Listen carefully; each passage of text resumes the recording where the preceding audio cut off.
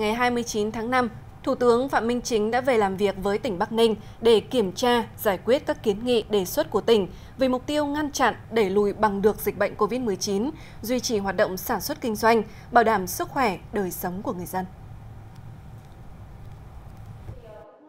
Thủ tướng Phạm Minh Chính đã trực tiếp nghe và tìm hiểu tình hình thực tế tại Bắc Ninh, những kết quả đã đạt được, những việc chưa làm tốt và nguyên nhân dự báo tình hình và các nhiệm vụ giải pháp cho thời gian tới – nhất là thực hiện giãn cách xã hội mạnh hơn, trên quy mô lớn hơn để bảo vệ an toàn cho sản xuất, bảo vệ công nhân trong suốt quá trình từ nơi ở, khi di chuyển và tại các nhà máy.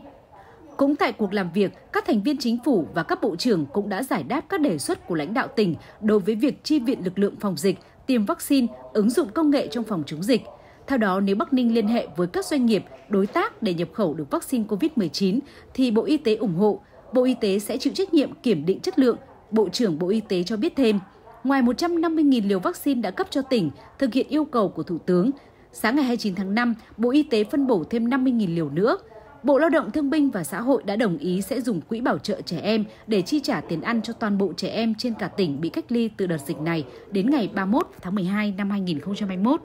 Phát biểu kết luận cuộc làm việc, Thủ tướng Phạm Minh Chính cho rằng Trước tình hình nguy cơ dịch bệnh lây nhiễm cao trong các khu công nghiệp, các khu tập trung đông dân cư, Thủ tướng đề nghị Bắc Ninh cần tập trung vào công tác phòng dịch trên phạm vi rộng, nghiên cứu giãn cách xã hội rộng hơn ở các khu công nghiệp, các vùng giáp danh với Bắc Giang. Thủ tướng Chính phủ cũng yêu cầu tỉnh Bắc Giang đẩy nhanh việc xét nghiệm trong các khu công nghiệp và vùng có nguy cơ cao, phát huy tốt vai trò hệ thống chính trị cơ sở tham gia vào công tác phòng chống dịch tại chỗ. Thủ tướng cũng khẳng định để đạt được thành công trong phòng chống dịch, yêu cầu các doanh nghiệp cùng có trách nhiệm chia sẻ khó khăn với tỉnh ban quản lý khu công nghiệp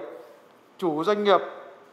phải chỉ đạo và có trách nhiệm vào cái việc phòng chống cái tôi nói gặp ông Samsung tôi nói rồi có lợi thì chúng ta chia nhau đúng không? Rủi ro thì chúng ta phải chia sẻ. Ờ, Rất quát làm. Và các đồng chí quản lý các khu công nghiệp này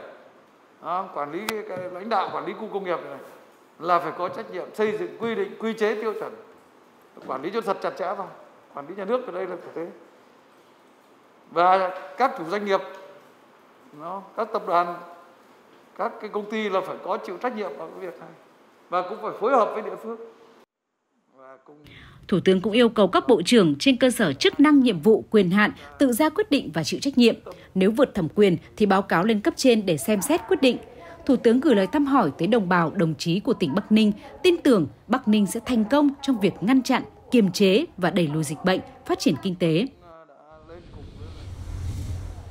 Ngay sau cuộc làm việc với tỉnh Bắc Ninh, Thủ tướng Chính phủ Phạm Minh Chính đã tới thăm nhà máy sản xuất của Samsung tại khu công nghiệp Yên Phong. Thăm hỏi, chia sẻ, động viên lãnh đạo doanh nghiệp và các công nhân tại đây, Thủ tướng đề nghị Samsung tiếp tục thực hiện tốt các quy định, giải pháp về phòng chống dịch để tiếp tục sản xuất kinh doanh hiệu quả.